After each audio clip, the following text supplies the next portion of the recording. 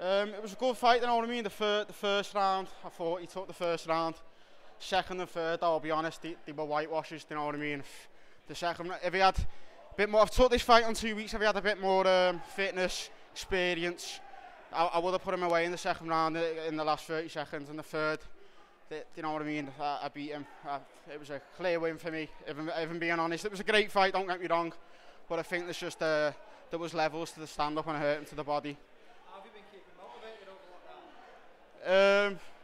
To, to, I'll be I'll be honest with you that I've not been during lockdown. Wh- When we weren't in the gym, I was just in the garden sipping um, sipping smoothies and just uh, lay down. You know what I mean? But I put, as soon as I'm back in the gym, I was working and Paul and Paul Rimmer said, my coach said, the the, the Celtics coming up. Do you want to take it? This was three, three weeks out. I was still eating McDonald's and um, you know what I mean? I said, I'm not waiting no more. Get me the fight.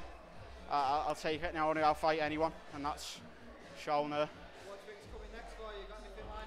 Nothing lined up. I, I, think I matched on the uh, Almighty card. Is it on? That's if it. That's if it comes off. I'm, I'm fighting on that. But a little few days off now, back in the gym. Need to polish my ground game off. I think I need to get on uh, some strength conditioning as well. St- strengthen me up, and you'll see.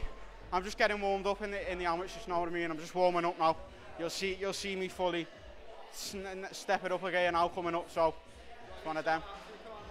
Um, yeah, oh, everyone at Next Gen, Paul Rimmer, Ellis, Adam Ventry's been taking me the pads to uh, Andy Howson. All the lads in the gym who were spar with, you're not, you're not everyone in the gym, you just know who you are. So it was uh, all good. Yeah, it's right, mate. So.